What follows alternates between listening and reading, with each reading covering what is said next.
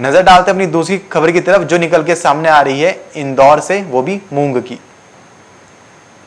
तो आपको बता दें कि मध्य प्रदेश में इस बार गर्मी सीज़न के मूंग का उत्पादन जोरदार हुआ है। इसके साथ ही पंजाब में भी इस सीज़न में मूंग का रकबा लगभग दो गुना होकर सत्तानवे हज़ार दो सौ पचास एकड़ हो चला है। और इसी को ध्यान में रखते हुए पंजाब सरकार ने किसानों की मूंग फ़सल की एमएसपी से खरीदी करने का आश्वासन दिया।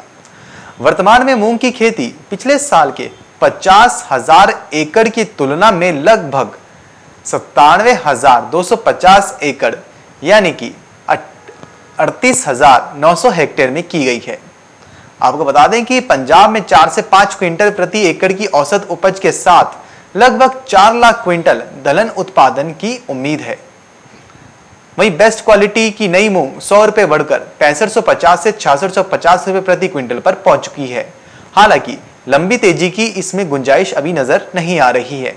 वहीं दूसरी ओर, मसूर में भी सीमित पूछ परख रहने और नीचे दामों पर बिकवाल पीछे हटने के कारण भाव में सुधार रहा। मसूर पचास रुपए बढ़कर छियासठ सौ पचास रुपए प्रति क्विंटल पर पहुँच गई। वहीं मुंबई में आयातित उड़द और चने के दामों में गिरावट आई है।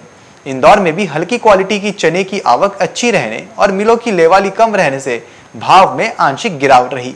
चना कांटा पच्चीस रुपए टूटकर अड़तालीस से अड़तालीस पच्चीस रुपए प्रति क्विंटल ही रह गया। तो यानी कि अभी ओवरऑल कुल मिलाकर दालों की जो स्थिति है, वो नरमी वाली ही देखने को मिल रही है। जहाँ पर आयात किया जा रहा है तो वहीं इसमें दालों में जो लेवाल है, वो भी कहीं ना कहीं कमी होता नज़र आ रहा है, जिसकी वजह से दालों के जो दाम है, उनमें एक नरमी देखने को मिल रही है।